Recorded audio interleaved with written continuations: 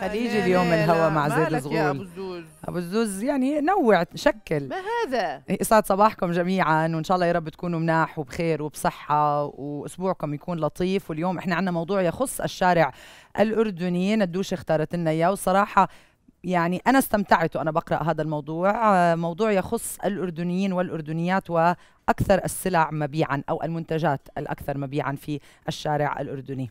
شوفوا إحنا يعني على one of the websites شفنا ما هي أكثر المنتجات آه، أو المنتجات الأكثر مبيعا بال 2022 هلأ ما بنعرف المصداقية بس يعني متخيل انها it makes sense 100% بدنا نحكيهم بشكل سريع رهوفه طبعاً. وبعدين محضرت لك مجموعة من الأشياء اللي الناس بيطلبوها أونلاين غريبة. اسمعي انت؟ انت بتعرفي امبارح قعدت أفكر انت ملاحظة بعد كورونا كيف كل شكل الحياة موضوع التسوق اتغير؟ هو. اسمعي أنا امبارح قاعدة بالبيت ما تحركت من البيت طلبت كل شيء. كله. انت قاعدة على. كنبايتك لمستوى إيش أقول لك؟ آه مثلا بوظة. آه آه. مثلا. أشياء سخيفه أشياء يعني لك. الواحد طب حرك حالك وقوم. مثلا قوم اتحرك. آه يعني هاي صراحة هو سلاح ذو حدين. طبعا طبعا. ماشي في نوع من الراحة بس بنفس الوقت مش عم نتحرك من أماكننا. طيب رهف أكثر الم... المنتجات مبيعا في الأردن أونلاين الملابس. الملابس. طبعا تجارة الملابس حققت أرباح ضخمة آه، في الأردن. اثنين وأنا انبسطت كتير بهذا أنا الخبر. كتير. كتير. الكتب. يعني تخيلوا بيقولوا إنه من أكثر المنتجات مبيعا في الأردن حيث يوجد الكثير من محبي القراءة والثقافة وبيتم الترويج للكتب إلكترونيا. فالناس مقبلة جدا بعام 2022 على شراء الكتب بلغات متعددة أيضا. الزيوت التجميلية. آه طبعا. طبعا. هذا كل فيسبوك. هذا كل فيسبوك. ادهني وحطي. وحطي رهف سؤالي هلا أنت شعرك كيرلي زي هذا الكيرل؟ كيف يعني؟ يعني أنت هذا شعرك؟ آه هاد شعري. والله يحط لنا شوفوا هلا تخيلوا بعد رحلة عذاب استمرت أكثر من سبع سنين عم بيرجع شعري. بس كتير حلو. حبيبة قلبي عيونك. سو يو بعرف أنا هذا اللي بحس هذا هو شخصيتي. بيشبه شخصية. آه. رهف الشعر الكيرلي كتير بيشبه شخصية رهف على سيرة الزيوت التجميلية. كتير بيشبه رهوفة. طيب شو كمان؟ الهواتف المحمولة. طبعا كلنا بنعرف أنه أصبحت الهواتف المحمولة والذكية تحديدا جزء لا يتجزأ من حياتنا ومن يومنا.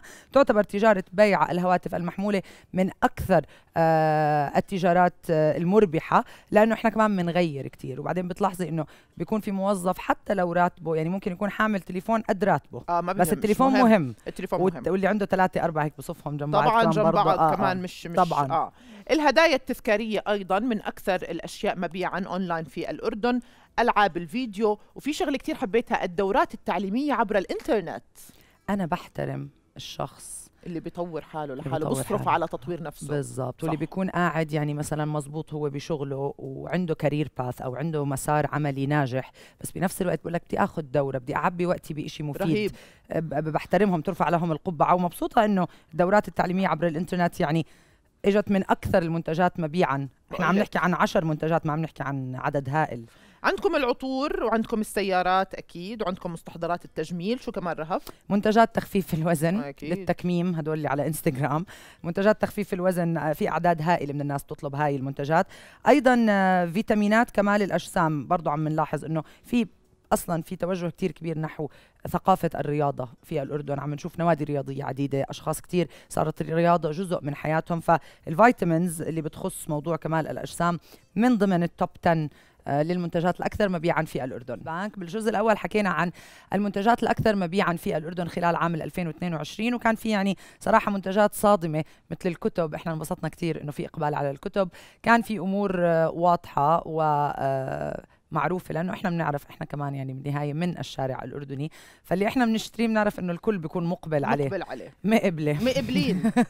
كونوا مقبلين. مقبلين. شوفوا يا جماعة امبارح و- وإحنا عم نحضر آه، اكتشفنا بعض المنتجات آه، تباع أونلاين آه، غريبة نوعا ما. مثلا شوفي رهوفة شو؟ قولي لي. the no phone شو يعني ذا نو فون يعني إذا أنت شخص مدمن على الهاتف الذكي الخاص فيك. أوكي. أوكي.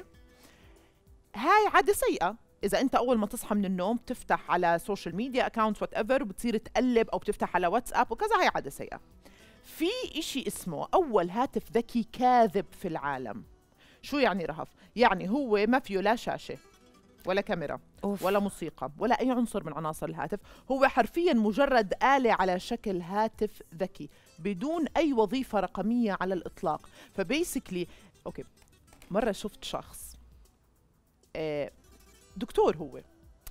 آه، شفته بمكان آه، ماسك سيجارة. آه لسه جاي أقول لك زي بده يترك الدخان. ما مش ضاوية. طافية بس ماسكها هو. ف يعني عم تحدث أنا وياه وكذا بعدين ما ضواها. فأنا استوقفني الموضوع قلت له دكتور آه، شو الفكرة؟ قال لي نادية الدخان هبت. هاب عادة. عادي قال لي فأنا ماسك السيجارة وبس ماسكها. عشان شوفي مخ شوفي الانسان مخ البني آدم لأنه انت psychologically وهذا ينطبق على الأرجيلة والدخان وإلى آخره إنه. انت لازم يكون في شيء مثلا دخ سيجارة وات هكذا هو الحال بالنسبة للهواتف الذكية. شعورك إنه أنت ماسك إشي بيشبه التليفون بس هو مش تليفون is good enough يعني هذا ال no phone إذا أنت بتحطه جنبك مثلا وأنت نايم بتصحى الصبح بتمسكه فيهوش إشي؟ بس خلص أنا مسكته مسكته للتليفون. كسرت العادة. كسرت العادة. فإشي اسمه the no phone موجود اونلاين بتعرفوا شيء كثير مهم. بتعرفي هذيك المرة قرأت مقال وعن جد طبقتها على حالي. بتعرفوا كيف أنتم في أوقات هلا أنا من الناس اللي لا أعتبر مدمنة على الهواتف الذكية. يعني أنا عادي أترك تليفوني ساعتين ما ما عندي مشكلة بالموضوع ومش لازم كل شيء يعني أول بأول عرفتي. يعني عادي عندي هاي القدرة. آه، قرأت مقال بتقول إنه ما بتصدقوا قد إيه الهواتف الذكية ومواقع التواصل الاجتماعي. هلا إحنا جزء من إدماننا هو مش بس عشان أنت تفتح واتساب هو أنت عشان تشوف إنستغرام وفيسبوك وشو عم بيصير بالناس. بستنزف طاقتك بشكل كتير كبير. Very يعني انت ممكن تكوني قاعدة ببيتك مبسوطة. انت آه، يعني ساتسفايد راضية بالقعدة اللي انت قاعدتيها عم تحضري تلفزيون بتاكلي أكلة لذيذة وكذا وكذا. بتفتحي انستغرام بتشوفي وحدة مسافرة.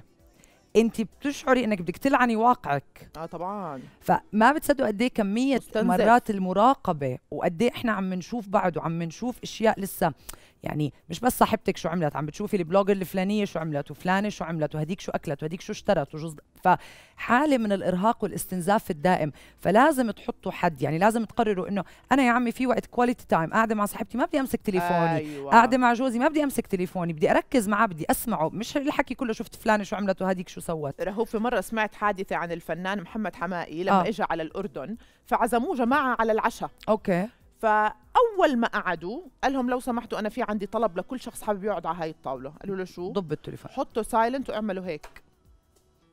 قال ما في حدا يمسك موبايله لمدة ساعتين ثلاث ساعات قد ما كانت مدة العشاء. إحنا قاعدين مع بعض. نتحدث. وهذا ما حدث. وكانت بقول لك قاعدة من أجمل ما يكون لأنه إحنا مرات بنلتهي آه، آه، بأشياء تافهة المشكلة. بتكون موجودة على الموبايل. بننسى نوثق اللحظة بذاكرتنا. صح. بنحاول نوثقها بصورة. وإذا تفرمت الموبايل وراحت الصورة راحت اللحظة لا طبعا. أكيد لا. آه، شو كمان؟ قولي لنا. رهوفه. قال في service تقدم اونلاين شخص يقف في الطابور لأجلك.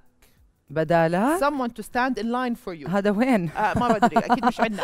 اللي هو مثلا أنت رايح على مثلا مؤسسة حكومية لنفرض مثلا بدك تستنى بدك تدفع فاتورة كذا هلا صار في فواتيركم بس anyway. آه. آه الفكرة شو رهوفه عشان أنت ما توقفي مثلا ممكن تقعدي ساعة تجيبي شخص بوقف محلك بحجز لك دور بتدفعي له مصاري. والله حلوة هاي. هاي صراحة آه حلوة. أنتوا بتعرفوا إحنا أكثر شيء أنا ونادية. بنكرهه لما نسافر. انسوا الدول العربية لأنه بنلاقي آه، ناس حدا داري تعرفنا عنا، آه. مثلا بتروحي على يوروب مثلا واقفه بالطابور. طب وين يا عمي؟ أنا مش هيك. طب أنا بالأردن بيميزوني. بنحس أنا مرات كل شوي انه آه أنا ما بدي أضل هيك. أو أنا بقول والله الواحد يرجع على بلده. شو أنا مرة. صارت في بمطعم بدبي. آه. هلا إحنا مثلا بنروح على مطعم من المطاعم. يي عليكي طبعا. بنروح أنا ورهف مثلا حجزنا كان على التسعة بنوصل عشان آه ست نادية ست رهف كذا حبايبنا. هذا إذا حاجزين هذا إذا أصلا. حاجزين إذا كنا حاجزين. إحنا بنقنعه إنه حاجزين فهو آه. بيقتنع مرة بدبي كنت أنا وماما ونوف. مم. رايحين حاجزين بمطعم مغربي. المهم الحجز تبعنا على التسعة ونص. بتعرفي لنظبط الغرة أكيد هون ولا طبعاً، هون. ونوف لا ونوف بتقول تخلص. لك ال- طبعاً، مفهوم. ونوف كمان بدها ساعتين. وصلنا. شفتوا إحنا بنعلق على الكل حتى آه، أفراد حتى أفراد عائلتنا. وصلنا يا رهف على المحل فأنا واقفة هيك عرفت بطولي. قلت له حجز باسمنا reservation under my name what's your name بالضبط. ما ضحك للرغيف السخن. قلت له نادية الزعبي. قال لي لا حبيبتي أنت الحجز كان تسعة ونص ساعة 10 ونص. قلت له and قال لي جو قلت له وين؟ عاد زبطنا الغرة. قلت له how. how why. فأنا صرت أقول له طب يا أخوي في هناك طاولة كانت فاضية. قال no أنت حجزك كان تسعة ونص كذا. فأنا ضربت attitude على أساس إنه هلا بده يلحقك. قلت له وين التكاسي قال لي تحت؟ تكاسي. رجعت قلت له متذكرتينا what if ببعث لك ع- بحط لك على انستغرام story mention قال لي جو. بتذكري بأم شريف بيروت آه. مرة كنا أنا وناديا يي. ببيروت بأم شريف ورايحين نحضر معزومين نحضر the مع شركة اورنج مع شركة اورنج صح. كنا رايحين وكنا رايحين نحضر آخر حلقة من ذا فويس فإحنا حاسين حالنا إنه أحلام و... و... هيك إحنا آه، داخلين وهيك. كاظم آه، يعني. آه.